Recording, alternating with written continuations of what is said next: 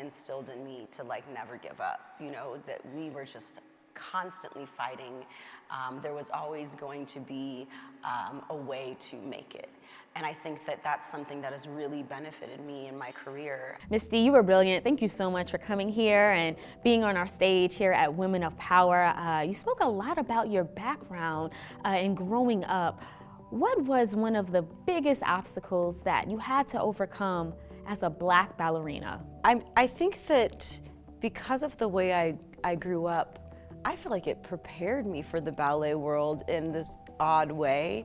Um, you know, not having a home or stability most of my childhood, you know, being one of six children in a single parent home, um, we were just constantly uh, in survival mode. And I think that ballet brought out this voice and um, who I knew I could be, but because of the restrictions and of you know the situations I grew up in, it didn't allow me to be. Becoming a professional, it was even more clear that like, oh, there aren't black people in this art form, um, and to enter into American Ballet Theater and be the only black woman in the company for a decade, the first decade of my career, um, was really eye-opening and revealing. Uh, um, but I feel like I took that fuel and I used it to um, to speak about the issue, to use my platform of American Ballet Theater to um, make people understand and aware and, and, help to make change.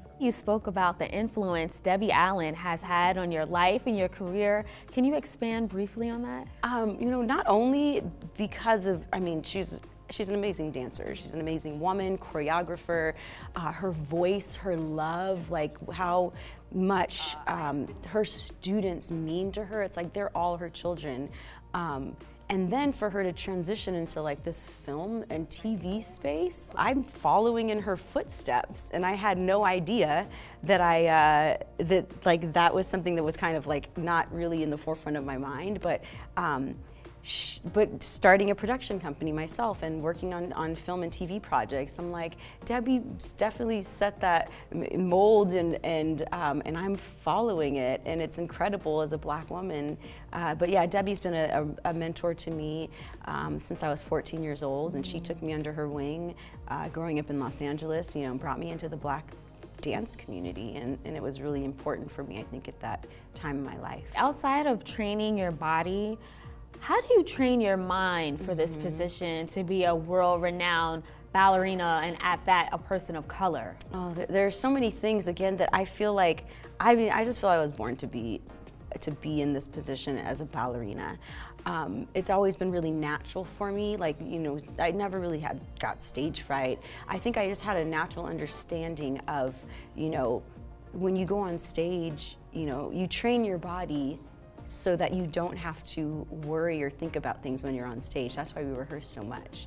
So I have that freedom that I'm like, you know, my body knows what it needs to do, and that's what I'm going to rely on, and I'm just going to go out there and be present and be focused and in the moment and enjoy myself. And that's the beauty of live theater. And I feel like that's just kind of how I approach my life in every way, and my like mental, emotional preparation is that, you know, there's only so much you can do in the moment. You can't um, anticipate too much or, or try and predict things that are going to go wrong or what, what's going to happen, and just to be as present present as possible. I feel like that's kind of been my like motto um, in every space that I enter into.